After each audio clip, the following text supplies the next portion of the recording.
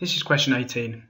Here we're told that AE is parallel to CD, so AE and CD are parallel, and ABD and EBC are straight lines. We're then asked to prove that triangle ABE is similar to triangle DBC. It also gives tells us to give reasons. Now, first thing to note here is that we're talking about we just need to show that these two triangles are similar. We're not being asked to show that they are congruent.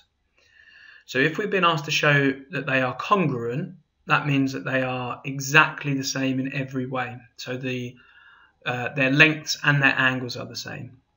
Now for two triangles to be similar, all that has to all that um, all that we need to show is that the angles in the triangle are the same, not necessarily the lengths.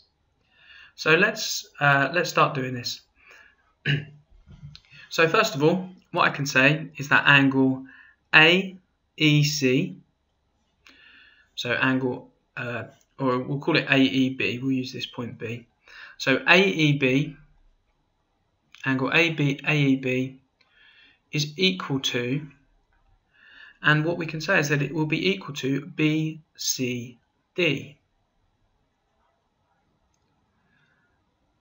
So those angles are equal to each other. And the reason for that is because we have parallel lines. We've got AE and CD and they are parallel. And so what we can say about angle AEC, uh, sorry, AEB and angle BCD is that they are alternate angles. So our reason that they are the same is that they are alternate angles. Then, because those are alternate angles and because we've just said that they're parallel lines, then we can also say that angle A, uh, angle EAB and angle BDC that they are alternate as well and therefore they will be the same. So angle EAB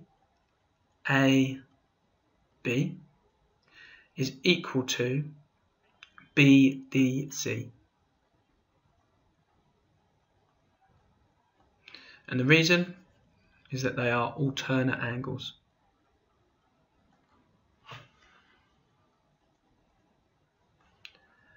Okay, so we've shown that two angles on uh, each triangle are the same. We now need to show that the final one is. So we need to be able to show that this angle here, ABE, is exactly the same as angle CBD. And we can say that they are the same because they are vertically opposite. So our final reason, angle ABE so that angle there will be equal to angle CBD. And that's because they are vertically opposite.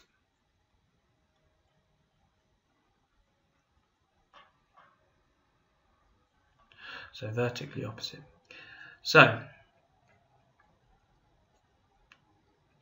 just a quick recap here. What we're asked to do is to show that they're similar. That's different to congruent to show that two triangles are similar, we just have to show that they have exactly the same angles. We've just done that with these reasons. So alternate angles, alternate angles, and vertically opposite. And so all that's left for us to say is that therefore uh, triangle ABE, so triangle ABE is similar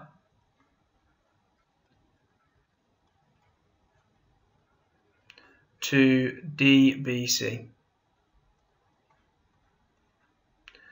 And our reason for that is because the angles are the same. So angle, angle, angle.